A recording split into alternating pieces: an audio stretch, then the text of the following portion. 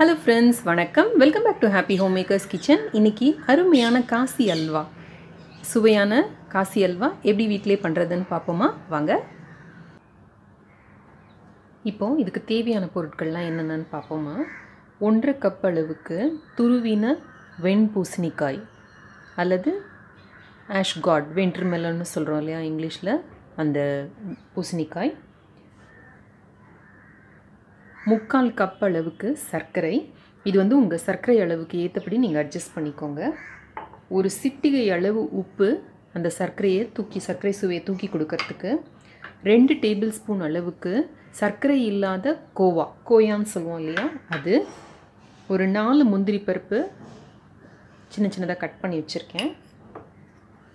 ஒரு பத்து திராட்சை காய்ந்த திராட்சை கொஞ்சம் குங்குமப்பூ ஒரு சிட்டிகை ஏ ஏலக்காய் தூள் கொஞ்சம் எல்லோ ஃபுட் கலர் இப்போ முதல்ல நம்ம நெய் விட்டு இந்த திராட்சையும் முந்திரியும் வறுத்து வச்சுக்கலாம்.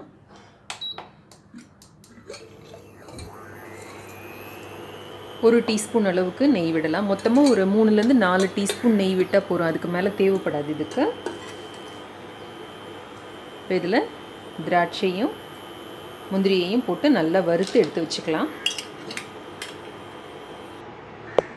இப்போ இந்த முந்திரியும் திராட்சையும் நல்லா வறுப்பட்டுடுச்சு நான் அதை எடுத்து தனியாக வச்சுக்கிறேன். இப்போ இதோட இன்னும் ஒரு டேபிள் ஸ்பூன் அளவுக்கு நெய் விட்டு நம்ம இந்த பூசணிக்காயை வந்து நல்லா வ வதக்கிக்க போகிறோம் ஒரு கால் கிலோ அளவுக்கு பூசணிக்காய் எடுத்து தோலெல்லாம் சீவிட்டு நல்லா அந்த பெரிய கண் இருக்கிற கிரேட்டரில் கிரேட் பண்ணி கையில் கொஞ்சம் பிழிஞ்சு எடுத்து வச்சுருக்கேன். அந்த தண்ணியை தனியாக எடுத்து வச்சுருக்கேன். அதை வந்து நம்ம சூப்புக்கோ இல்லை சாம்பார் கூட்டு அந்த மாதிரி எதுலையாவது விட்டுடலாம். இதில் வந்து நம்ம வெறும் இந்த துருவுன இந்த துருவலை மாத்திரம் போட்டு இது பண்ணிக்கலாம். ரொம்ப ஒட்ட பிழிய வேண்டாம். கொஞ்சம் ஈரம் இருக்கலாம். அதோட பிழிஞ்சுக்கோங்க. இப்போ இதை நல்லா வதக்கிக்கலாம் நம்ம. அந்த பச்சை வாசனை போய் வேகிற வரைக்கும் நம்ம நல்லா வதக்கிக்க போகிறோம் நம்ம ஒரு சிட்டிகை உப்பு இப்போ சேர்த்துக்கலாம். சேர்த்துக்கிட்டோம்னா இது வேகிறதுக்கு வந்து ஈஸியாக இருக்கும். இப்போ இதோட பச்சை வாசனைலாம் நல்லா போயிட்டு நல்லா வதங்கியிருக்கு இப்போ இதில் தேவையான அளவு சர்க்கரை சேர்த்துக்கலாம். ஆக்சுவலாக முக்கால் கப் அளவு சர்க்கரை போட்டிங்கன்னா நல்ல ஸ்வீட் பிடிச்சவங்களுக்கு கரெக்டாக இருக்கும். அரை கப் போட்டால் மிதமாக இருக்கும். கால் கப் அளவுக்கு வந்து கொஞ்சம் கம்மியாகவே இருக்கும். நான் கொஞ்சம் கம்மியாக தான் சேர்த்துருக்கேன். இப்போது சர்க்கரை சேர்த்தோடனே நல்லா இழகி வரும் இது. தண்ணி ஆகிற மாதிரி இருக்கும். அப்புறம் திரும்ப இருக்கும்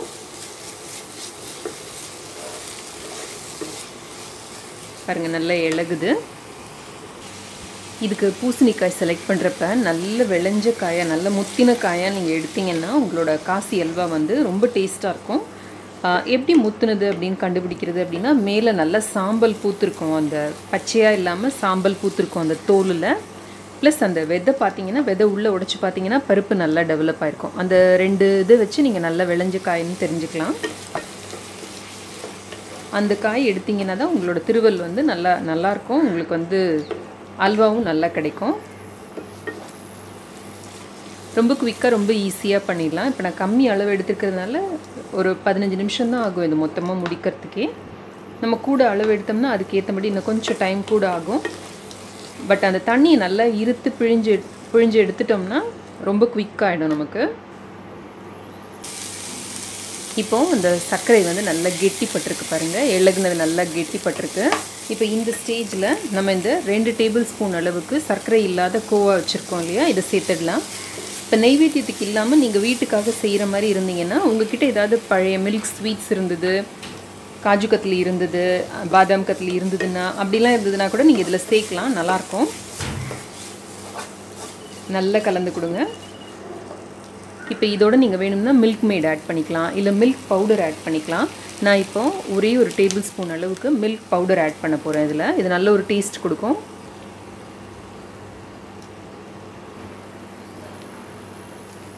நல்லா மிக்ஸ் பண்ணிக்கோங்க. டீயை வந்து மிதமாக வச்சுக்கிறது நல்லது இந்த ஸ்டேஜில்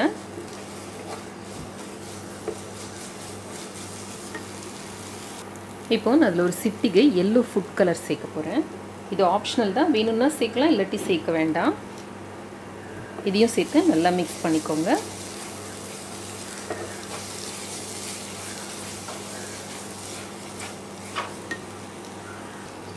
இப்போ இதில் ஒரு சிட்டிகை ஏலக்காய் தூள் போட்டுக்கலாம். இப்போ நமக்கு மொத்தமாக ஒரு பத்து நிமிஷம் தான் ஆயிருக்கு இது செய்யறதுக்கு. இது ரொம்ப கம்மி அளவுங்கிறதுனால இவ்வளோ தான் ஆயிருக்கு. கொஞ்சமாக குங்குமப்பூவும் சேர்த்துக்கலாம். குங்குமப்பூ வந்து ஒரு நல்ல வாசனை கொடுக்கும் இதுக்கு. சும்மா ஒரு நாலு அஞ்சு ஸ்ட்ராண்ட் சேர்த்தா போகிறோம் ரொம்ப வேண்டாம். இப்போது நம்ம வறுத்து வச்சுருக்கிற இந்த முந்திரி மற்றும் கிஸ்மிஸ் பழம். அதையும் சேர்த்து நல்லா கலந்துட்டோம்னா நம்மளோட காசி அல்வா ரெடி.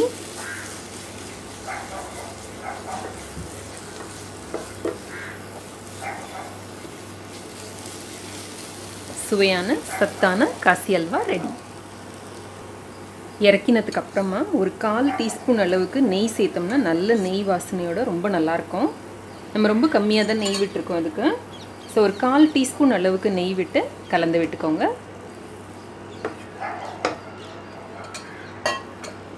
இதே அல்வா வந்து தம் போட்டு தம் ரூட் அல்வா அப்படின்னு கூட நீங்கள் ஸ்வீட் கடைகளில் பார்க்கலாம். இது நம்ம வீட்லேயே செய்யக்கூடிய சிம்பிள் காசி அல்வா அல்லது பூசணிக்காய் அல்வா. மீண்டும் இன்னொரு ஆரோக்கியமான அருமையான ரெசிபியுடன் உங்களை சந்திக்கிறேன். என்னோட மற்ற ரெண்டு சேனல்ஸ் பிளாக் எல்லாத்தோட லிங்க்கும் நான் கீழே டிஸ்கிரிப்ஷன் பாக்ஸில் கொடுத்துருக்கேன். செக் பண்ணி பாருங்கள் இந்த ரெசிபியோட இன்க்ரீடியன்ஸ் மெத்தட் எல்லாமே கூட நான் வந்து டிஸ்கிரிப்ஷன் பாக்ஸில் கொடுத்துருக்கேன். வேணும்னா பாருங்கள் நன்றி வணக்கம்.